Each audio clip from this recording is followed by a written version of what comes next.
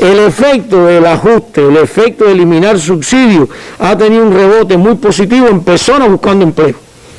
Más de 40 mil personas en los primeros días salieron a buscar empleo.